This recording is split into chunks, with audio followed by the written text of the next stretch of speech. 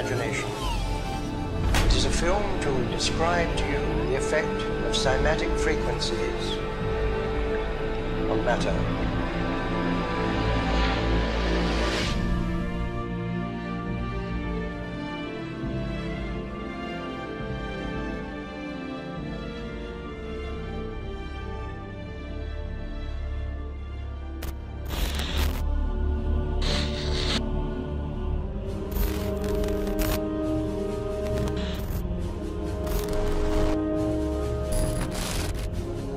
Why don't you describe for me, as vividly as you can, what it is you're worried about, what it is that the nightmare scenario looks like?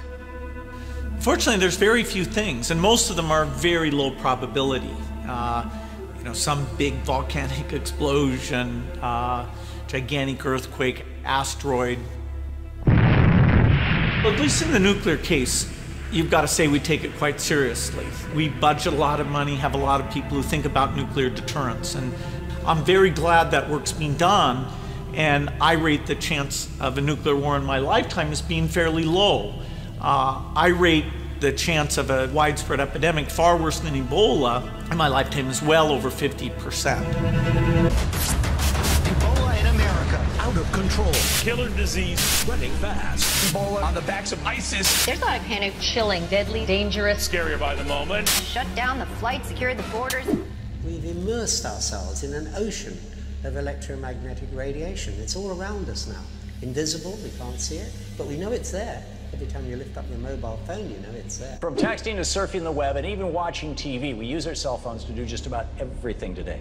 We assume that these devices that we can't live without are safe for us. And if you ask any major cell phone manufacturer, they'll tell you that they are. But behind countless PR campaigns and corporate funded studies lie the ugly, possible truth about the hidden effects that cell phones have on us. When my eight month old grandson showed that he was really smart with a phone, I began to get curious about what we knew about cell phones, and what I found really concerned me. I learned that other countries, namely Israel and England, had already issued warnings that children should not even use cell phones. Then I began to do research on this about seven years ago. The brain of a child absorbs twice as much radiation as an adult. That's a stunning fact. Few people are aware of it. 19 or 20 years old. They will have used the phone for 10 years, and we have no idea what type of risk that's carrying.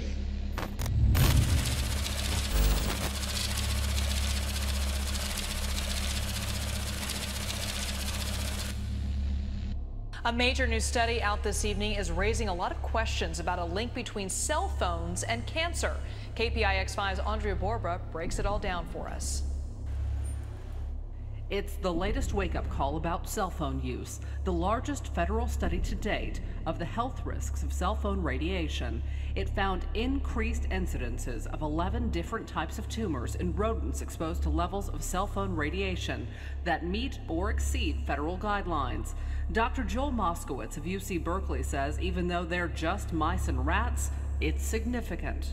They always, almost always use mice and rats because they predict very well the effects on humans. The two types of tumors that were most commonly seen in the male rats are also the two types of tumors uh, that we're seeing increased incidence in uh, controlled studies of humans.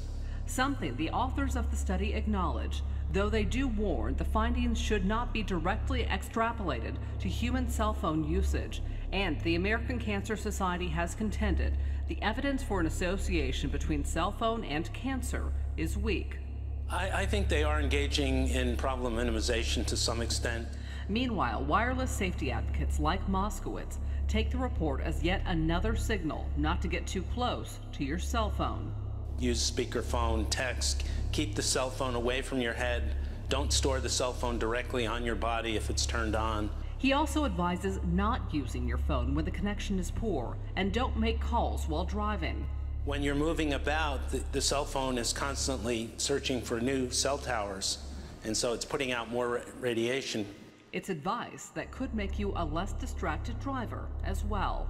Andria Borba, KPIX 5. Now, we should note this is a draft report. The final version will be released in March. The California Department of Public Health also advises limiting contact with your cell phone. Thank you so much. Great to have you with us. So, what is the truth about cell phones? The truth is, they're very valuable devices, and they are two way microwave radios that should not be held directly next to the brain or body. And just like don't put your hand in the microwave oven kind of thing. I mean, not No. that you can anyway, because they make it see it. Right. But on the other hand, a cell phone is a very weak form of microwave radiation. Now, it's not as powerful as an oven, but it has a very similar frequency, and we are, some of us, using it for thousands of minutes a month right next to our brain. And I'm particularly concerned about how we're giving it to infants and toddlers.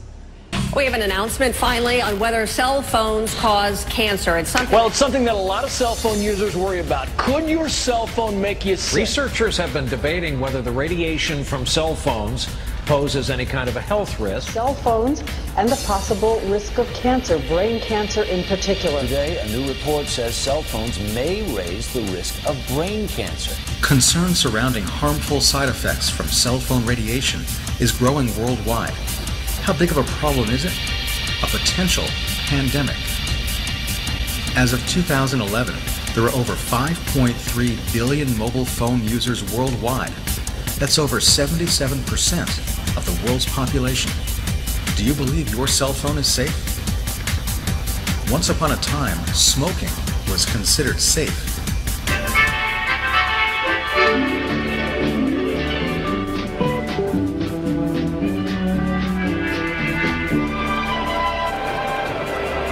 I'd walk a mile for a camel. We all know cigarette smoking is now proven to be hazardous to your health. Do you use your cell phone 10 minutes or more per day? If so, you might be in danger. Fact. Most cell phones come with a notice that says do not hold closer than one inch from your body. Fact. Insurance companies refuse coverage to cell phone companies for claims made by consumers due to possible illnesses caused by radiation exposure from their mobile devices. Fact. A very good question. And, and the answer is the reason I set up Environmental Health Trust is so that we don't have to wait 40 years for the kind of proof that we now have about ionizing radiation, which was what in, was in those shoes and which was on that radium dial. What we know now is that people who use cell phones heavily uh, for 10 years or more have doubled or greater the risk of brain cancer in most well controlled studies. These are the common symptoms that people start to experience. This is actually from a published paper on the health effects of wireless smart meters. Did you know studies have proven that cell phone radiation detrimentally affects the protective layers surrounding your brain? Now, in fact, cancer is not the main concern that I have. I'm really concerned about sperm count and about effects on pregnancy. I just got back from a conference in Turkey and Greece where we heard new studies showing that prenatal exposure to animals results in offspring that have smaller brains and more hyperactivity. Wow.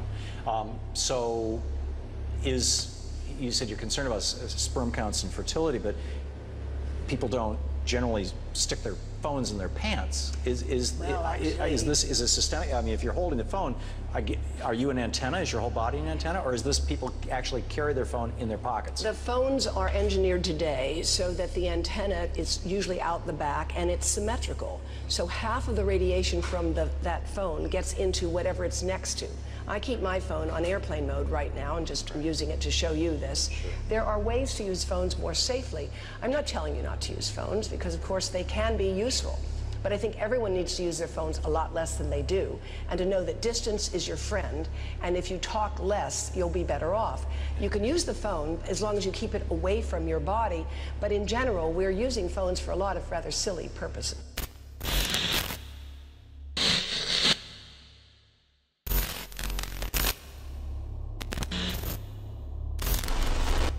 The danger is real, very real. Should you quit using your cell phone? Let's be realistic. So, what can you do?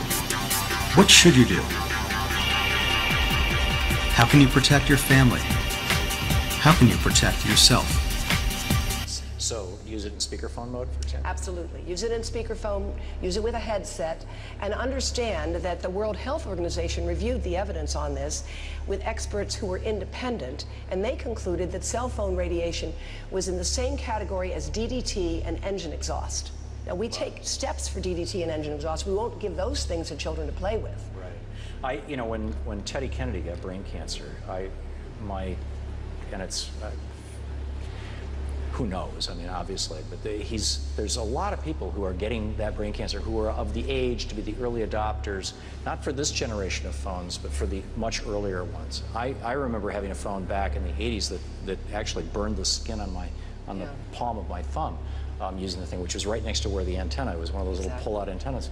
Um, is it is it possible that they've gotten so much better that we don't have to worry, and it's really the people who were exposed 10 and 20 years ago who have to be concerned, or Well, are we, have we just gone from X-ray the, sh- the foot to radium on the watch dial? And we Well, you haven't- know, it's a very good question, and the answer is I don't know. You're absolutely right. The old phones were worse, and the people who use them the most, the realtors, the lawyers, the politicians, they are the cutting, the, the first wave of uh, damage that we're seeing. But I really think that brain cancer is the wrong question. We've got to stop asking about it, and we've got to start looking at the effects that we see on learning, on the nervous system, on some people who are very sensitive to this radiation and find it really incapacitating for long. A lot of people now are experiencing tinnitus, headaches, and even spells of dizziness that they can't fully understand. And it may turn out that these exposures are having effects on the nervous system that we don't really well understand. Non-ionizing.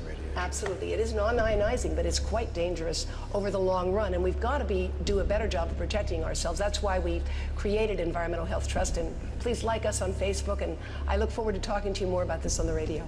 Thank you. Thank you so much. Pleasure having you with us.